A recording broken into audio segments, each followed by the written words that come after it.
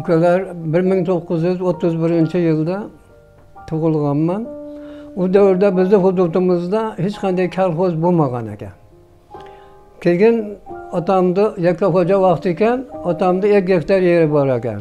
Shu ikki gektar yerni qirg'og'i jivari o'rtasiga jivari ekishib ichiga qovun ekishib o'sha kapada ko'chishib chiqib olar ekan. Qo'shnimizni ijaraga olib uni ishlatar ekan.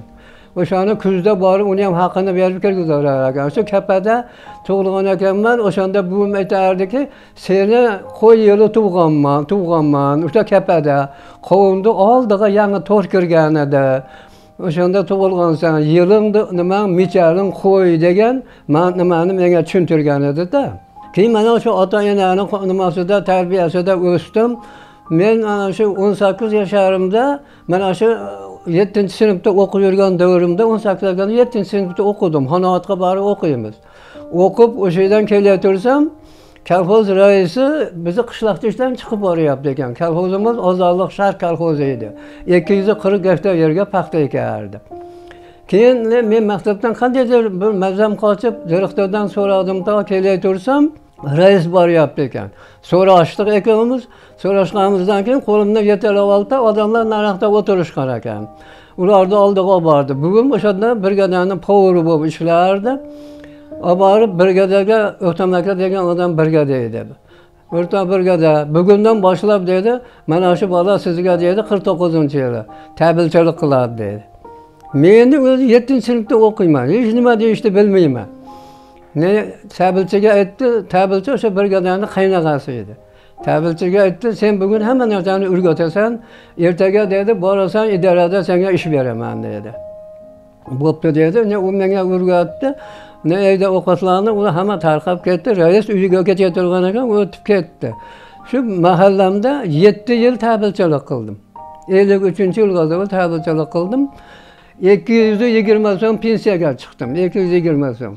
Qarang omborchi bo'lib o'n ikki yil ishlagan bo'lsam shunda ham sakson so'm oylik uradi sakson bir gektar yerga paxta ekib yigirma yil brigadirchilik qilgan bo'lsam to'qson to'rt so'mdan oylik beradi. Kechasi kunduzi ishlayman. To'xtash yo'q. Pensiyaga ikki yuz yigirma so'mdan pensiyaga chiqdim. Mana endi mana yillar o'tib yillar o'tib yoshim ulg'ayib mana hozir endi to'qson uch yoshda bo'lganligim uchun shunga bo'lib endi bir million yetmish to'qqiz ming so'm oila berishadi endi hozircha endi mana bu ikkinchi o'lim bo'ladi bu tirkishali birinchi o'lim yo'ldashali ellik oltinchi yilda tug'ilgan. Bu ellik sakkizinchi yilda tug'ilgan. ellik sakkizmi ellik to'qqizda tug'ilgan.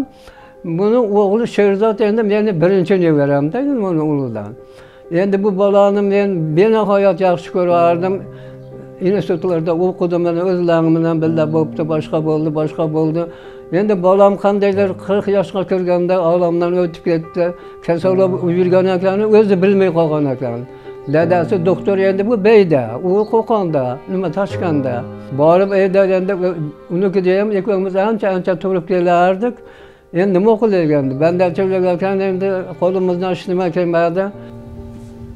bir ming to'qqiz yuz sakson birinchi yilda harbiy xizmatdan kelganimdan keyin oila qurdim uylandim. bir ming to'qqiz yuz sakson ikkinchi yil yettinchi sentyabr kuni bizni oilamizda judayam quvonchli bir voqea bo'ldiki. Birinchi farzandim o'g'lim sherzodbek dunyoga keldi. Sherzodbek hamma bolalar qatori sog'lom yaxshi katta bo'ldi. Bog'chaga bordi. Bog'chaga borgan paytidan boshlab judayam u qiziquvchan bola edi. Plastilindan har xil buyumlarni yasardi uyga kelib olgandan keyin taxtachalardan biror narsa shu e, har xil shakldagi mashinalar boshqa ko'rinishdagi narsalarni yasab o'tirar edi. Keyin bog'chadan keyin e, tumanimizdagi birinchi sonli o'rta maktabga o'qishga birinchi sinfga qabul qilindi. Maktabda ham juda yaxshi o'qidi. Ayniqsa u kompyuter sohasiga juda qiziqqanligi sababli kompyuter o'qituvchisi kompyuterxonani deyarli o'g'limga topshirib qo'ygan edi. Darsdan keyin ham qolib o'sha kompyuterda shug'ullanib har xil programmalarni o'rganib kompyuterga o'ta qiziqqan bola edi. Maktab tamomlagandan keyin toshkent davlat san'at va madaniyat institutini kino operatorlik bo'limiga o'qishga kirdi. O'z kuchi bilan kirib grantda o'qidi. Undan keyin magistratura bosqichida o'qidi. Magistratura bosqichini tamomlagandan keyin o'qituvchilarni taklifi bilan toshkent davlat axborot texnologiyalar institutini televideniya sohasi bo'yicha fakultet o'sha paytda yangi ochilgan edi o'sha fakultetga ishga qabul qilindi. Va o'sha yerda o'g'lim kafedrada o'qituvchi keyinchalik kafedra katta o'qituvchisi lavozimlarida ishladi. Juda ko'p talabalarga shu operatorlik mahoratidan montaj sohasida dars berdi. O'g'lim judayam e, yangilik yaratishga monografiyalar chiqarishga qiziqqani uchun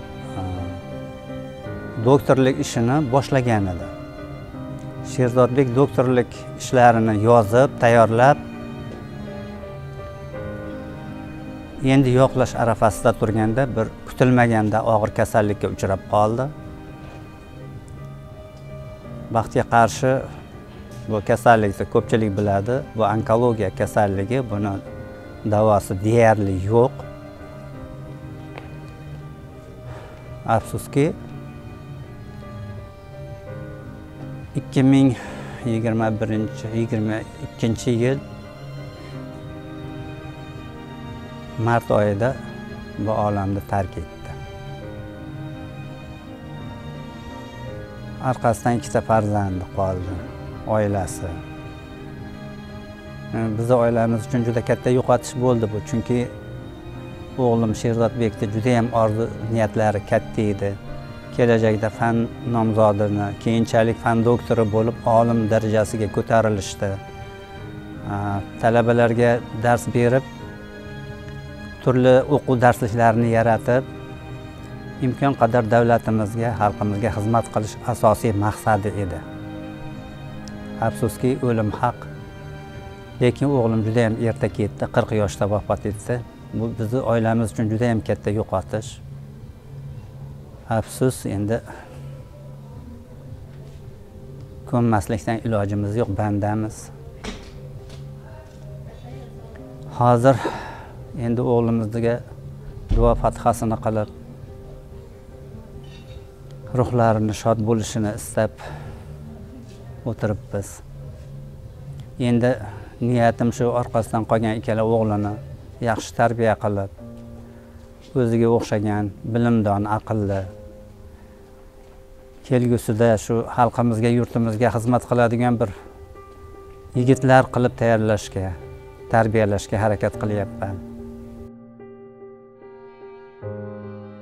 Ikkita o'g'li bor mana yaqinda ikkala uliga ikkita qo'y. Bedosiga bitta qo'y uchta so'y qo'y so'yib anani uliga bitta qo'y so'yib. Uchta qo'yni so'yib butun senga tushi bormi boshqasi bormi hammasini aytkizib kelib to'ylarni o'tkazib hammasini çıktık. endi hozir shu to'qson uch yoshga kirgan bo'lsam xudoga shukur mana mahallaga kolxoz shiyponini kolxozga ariza yozdim birga deydimda mana shu shiyponni dedim meni yozgan arizamni dedim bir yaxshilab ko'ringlar Agar lozim bo'lsa, shu shiyponni menga bekorga beringlar dedim. Mahallani chorlariga dedim, men şeyni joy qilib beraman dedim. Mendan shu qoladi dedim. Boshqa ish nima qolmaydi dedim. Dedim, lekin hokimni birinchi o'rinbosari Oxunjon Tojiyev degan yigit bizni kolxozni tugatishga kelganda u. O'sha odam arizani 16dami komissiya bilan o'rtada ko'rishib 60 mingga solingan shiyponni menga bekorga berishdi. Endi u menga xususiy bo'lib qoldimi? Bekorga bergani menga xususiyda kolxozniki. Roylanam xo'jayin emas, kolxoz xo'jayin, kolxoz menga bekorga berdi endi uni. O'shandan 3 sotiq yerda 17 milliondan 51 millionga sotdim. Sotdim tog'i arzonga 10 ta komissiya tuzdim. Bolalarni yig'ib, bir mahallani yig'dim tog'i. 10 ta komissiyani 3 ko'prikka yo'radim. Arzidan kavlash uchun 120 berasan deb. Endi bolalar kelganda urgashib bo'lganda 120 mingga berar ekan. Kovlaylar 120 millionga ko'par ekan dedi. Men aytdim, ana pansatmalarda kovlayapti-ku dedim. Borib o'shani gapirishganlar dedim. Uni o'rnog'ini yuborib yubordim. Ayga borgan ekan, mayli sizlarga 100 millionga kovlab beramiz deb. Qachon borasizlar debdi. Degan ekan 6 kunda boramiz deb. Kelishaversin dedim. O'shalarga arizada bor bo'lgandan keyin nihoyat ellik 51 millionga sotib yubordim. Magar nimani mahalla oqsoqolini chaqirdim, tag'in Mo'ydinjon degan bola. Pulni sanab bulardan dedim. U pulni sanab oldi. Men uni ko'rmayman, men qaramayman ham dedim. Men rahbarlik qilib pulni tovib beraveraman dedim. Sizlar o'zlaringiz ishlatib shuni arzon chiqaraman dedim. Bo'pti dedim. Ularni ishga solib qo'ydim, endi qancha qoldi? 100 million, 50 million beramiz ish boshlashig'a dedim. 50 million, 49 million qoldimi dedim. Mahallani nechta odami bor dedim. 412 ikkitami aholisi bor dedi. Taqsim qilinglar dedim. 150 so'mdan pul tushdi ularga. 150 so'mdan 10 yurib yig'ib chiqasan hozir dedi. Ular mahallaga chiqib shunaqa urg'ashmam arzon ko'rib beraman deyapti. Shunga endi bitta jonga 50 150 so'mdan, shunga endi 5 ta so'ram 750 so'mdan berasizlar degan ekan, endi xotinlar suvsiz qiynalib yurganda 20 yil idarani oldidan toshib ishda suvni 20 yil. Shunday rahmim kelardi deyman. Endi sizlar qo'limdan kelmasdi u vaqtida. Halillar tashib qildik. Pulni 51 millionmi, 55 millionmi pul yig'ilibdi mahalladan ham. Bir pas uni ham yig'dik. Kelishdi, arzonni bir haftada chiqarib oldik. Kechasi kunduzi bir haftada suvni chiqardi. Endi bu yerda suv chiqib turgani bilan bo'lmaydi dedim. Bu mahalla şeydan to, "Yo'q" dedim, "Men hozir rayonga boraman" dedim. Sizlarni rayonga bordim, hokimdorlig'a kirdim. "Ha" dedi, "Unaqa, unaqa, shunaqa" dedim. "Ha, bo'pti" dedi. 20 million pul dedi, 2 tonna salarka beraman dedi. E, salarkani nima qilaman dedim, suvni chiqaryapti men ekan dedim. 100 millionga chiqaryapti dedim. Endi dedim, shu nima qilib qo'yinglar dedim. Ha, bo'ldi dedi. 10 million qo'shib 30 million pul qilib beraman dedi. Bo'ldi, qilib bering dedim. 30 million pul qilib berdi. 30 millionni shundaycha ular naqd pul bermaydi-da. Nimaga gapirish keldim? Bashniga. 30 millionni shundaycha o'tkazib berdim tog'i. Hali bashnini qila turgan bolaga hech bo'lmasa 1 millionni qaytib bergin dedim. Dedi, insofdan chiqib ketmagin dedim. Mahallani puli bu dedim. Men bir so'm yeyolmayman bundan dedim. bir million qaytib berdi. O'shanda mayli mahalla komitetiga ol dedim, cho'ntang olsa. Men pul ushlamayman dedim. Nima bo'lsa bo'lar dedim. Yo shu bilandan keyin necha kunda qilib berasan dedim. Dedim bir haftada, uch kunda qilib berasan dedim. E buva nima deyapsiz? Nimani demayman dedim. Prestijni pulga 30 millionda olsang, 3 kunda qilib nima bir oyda qilib berasan menga dedim. Yo'q, menga 3 kunda qilib berasan dedim. Mana pulingni o'tkazib qo'ydimmi? O'tkazib qo'ydim. Qarzing bormi? Qarzing qilib berasan dedim. Bo'ldi bu 3 kunda qilib beraman dedim. 3 kunda men mahalla oqsoqolimga zivoyon qilibdi. Kelib barchalarni olib ketinglar deb. Bu yerda ne komitetidan kirarlardi, olib keldik. Uni o'rniga 3 mashina shohol, 2 metr kovlaydi ekanda katta qilib. 5 mashina shibonka qiyotib, bilmayman 3 tonnami, 2 tonna semon qilib, uni tayyor qilib qo'ydim. komandirdan kirarlardi, olib kelib, hamma uni o'rnatib, ularga qo'ydirib, suvni keyin uloshqa 50 metr turib kerak ekan. Nima qilish kerak? Endi oqa-oqa boraman endi dedim. Shu oqova suv dedim nahot bir so'm bermasam menga dedim. Bir so'm dedim. Ha pulni o'shalar o'ndari yeydiyu dedim. Men bir so'm oyi yemaymanu dedim. Bo- bordim men oqova suvga bordim ha katta deydi men aytdim suvni chiqarib qo'ydim dedim. Beshnini olib qurib qo'ydim dedim. Nima endi yordam berasizlarmi bermasizlarmi dedim. Agar yordam bermasalar dedim. Pulni butunlay o'zim yig'aman dedim yo'q desalaring dedim men davlatga topshiraman dedim. Sizlarga beraman yig'ib olasizlar dedim. Bo'ldi dedi. "Ne- nima deyapsiz dedi. Ellik metr turba kerak menga dedim. Bashnidan yo'lga chiqarib beradi dedim. Yo'lga g'aniyevni oldiga borib bir ming uch yuz metr yuzlik turba olib kelib yo'lni o'rtasiga ko'mdirib qo'ygandim qirg'og'iga o'shanga ulab hozir to'rt yuzu o'ttiz bir yuz o'ttiz beshta xo'jalikni uylariga hammasiga suvni tushirib to hammomiga doğru qildirib berib hamma yoqni o'rnashtirib qo'yganman xudoga shukur hammasi buva rahmat suvingizni ichyapmiz rahmat buva suvingizni ichyapmiz deb shularni davrida xudoga shukur mana o'ynab yuribman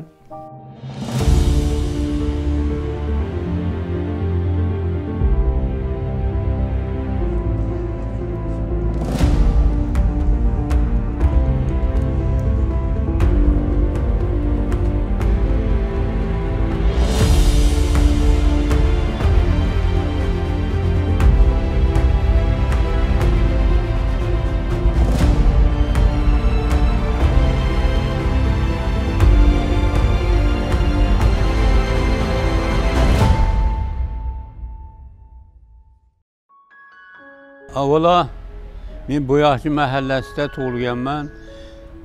34 yil o'qituvchi bo'lib ishlaganman. Hozir pensiyadaman. Familiyam O'ljayev Xursonboy. Mahallamizda mana shu Husan Birgashali buva yoshligidan boshlab shu mahallada tug'ilgan, o'sgan. Mana shu mahallada brigadir, omborchi ishlab kelgan. Hozir yoshi 94 ga kirdi. Pensiya chiqqandan keyin shu mahallamiz juda og'ir ahvolda edi suv yo'q edi mana shunaqa binolarimiz yo'q edi shuning uchun mana shu ergashali ergashali buvam mahallamizga boshliq qilib mana suv chiqarib berdi. Mana u binolarimizni mana shular yo'q edi mana shuni sabrdi mahallaga. Mana asfalt bo'ldi mana shu mahallada. Mahallamiz juda hozir mana shu odamni orqasidan obod bo'lib hamma xalq xursand bundan. Iloyo umri uzoq rizqi ulug' yoshi hozir mana to'qson to'rt yoshga kiryapti. Bunaqa ulug' yoshli odamlar bizni kolxozimizda hozir yo'q. Iloyo mahallamizga yana bosh bo'lib yurishlarini alloh taolodan so'raymiz. Masjidda shu namozxona qilib bergandimda. Endi hozir o'qilmaydi hech qanday o'qitmay qo'ygan o'qilmaydi. Endi shungacha turibdi mana yasab qo'yganimcha turibdi. Mana shu bashnimiz mana mana mana u bitta mahallamizga ketadi. Bitta mahallaga ketadi. Mana bu mana bu katta yo'lda katta yo'lda ikkala tarafa katta mahallaga ketadi. Mana u bizni mahallaga kiradi. Mana u ham bitta mahallaga kiradi. Mana mana hammasini uylariga mahallama mahalla olib borib berganman. Papilov qo'yib qo'yganman kechasi kunduzi suv uzluksiz yuradi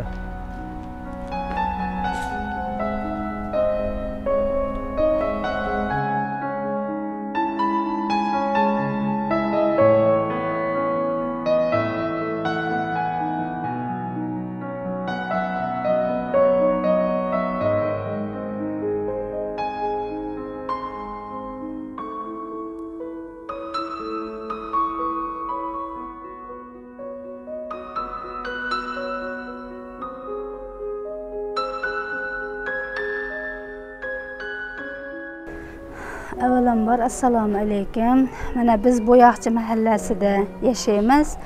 Biz ilgari judayam suvga qiynalib yashardik.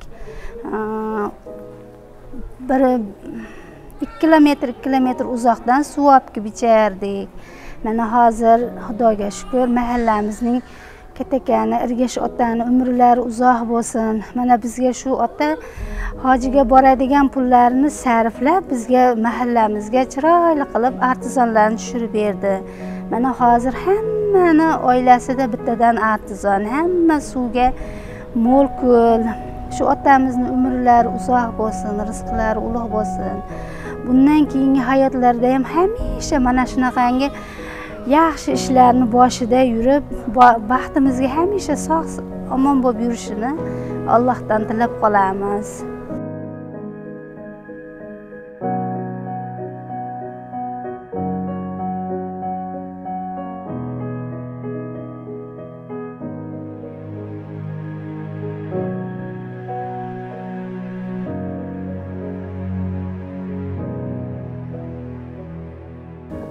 Endi mana dadam haqida gapiradigan bo'lsam dadam hozir to'qson uch yoshdan o'tib to'qson to'rt yoshda ketyapti.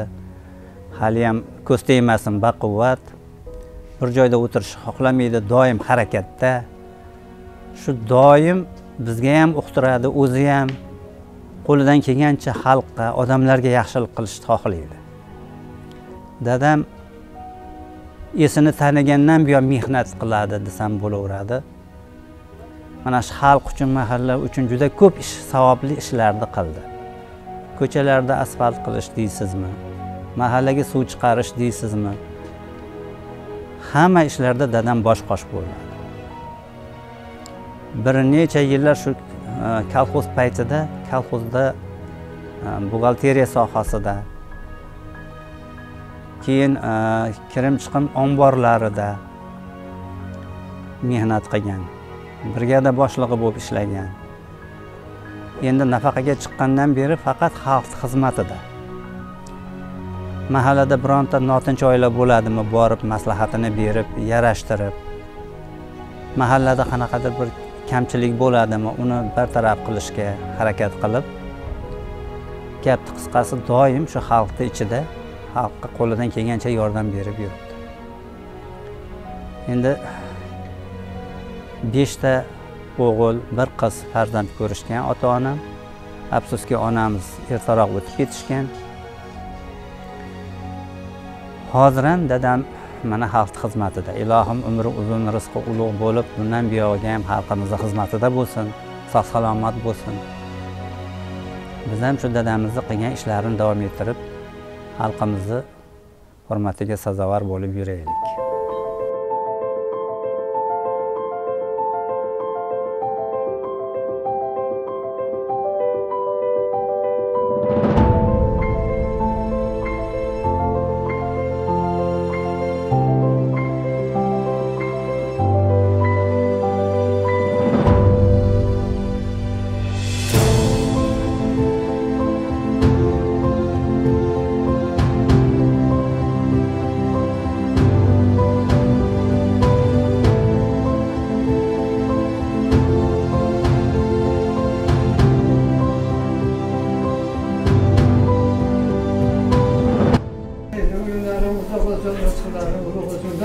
Doim bolalarına başa poylab ko'rib yuraveringlar chilayli chilayli to'ylarni qilinglar to'ylaringda hammalarini birga yurishimizni alloh taolo hammamizga nasib qilaversin hammalarni salomat